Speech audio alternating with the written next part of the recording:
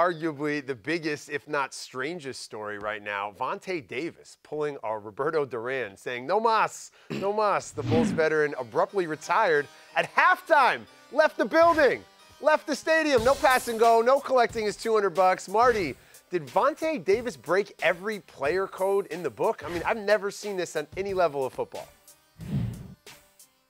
I've seen it in Pee Wee football. We had a guy one time play tight end. He's in front of me. He was like, well, it's probably like in sixth grade. He came across. We playing against. We was, called, we was playing against the um, the A-Leaf Redskins, and they had this guy named Baby John. But Baby John was built like a man when we was like in sixth grade.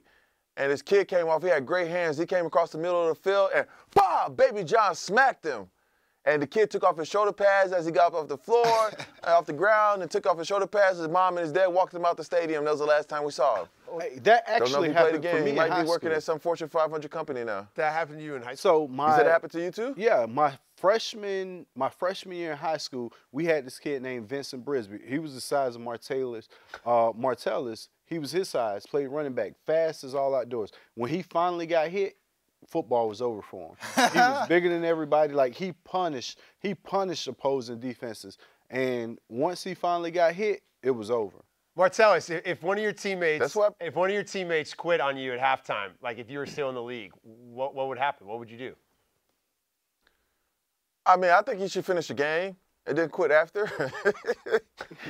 I think, I mean, but but it's crazy though, because a lot of people will never understand this because they'll never play football at this level for as long as this man played football, right? When your body shuts down, your body shuts down. Like it doesn't want it anymore. It can't do it anymore. It's like, and you know when your body is shut down. And as a warrior, you know when you cannot go on any longer. And when you do try to go on, that's when you hurt the team, you hurt yourself, and that's when all shit goes down. So, I mean, he could have been like, hey, coach, I can't go no more, right? Or whatever, and pulled me out and then talked about it. So there's different ways. But when you're in that moment and you get that feeling like he said he got, you just can't speak for that man. So at least he had the courage to do it, which, you know, shows you that he has balls. Did you all not hear what happened? What actually happened?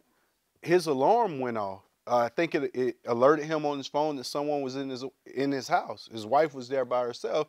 So I don't know if it was a visitor or he was just going to check, just making sure everything was cool at the house. No, you get ah, stopped. yeah, everybody's sitting here believing this dude. 'cause I he- really, I really was like, Come yo, on he's now, a they- family. Hey, Whoa, that's a clear. Yeah, no. Hey, no. Hey, I'm you just- gotta go I'm do just hey, kidding. I'm you gotta go do what you gotta do. Hey, I'm just Somebody in my house right now.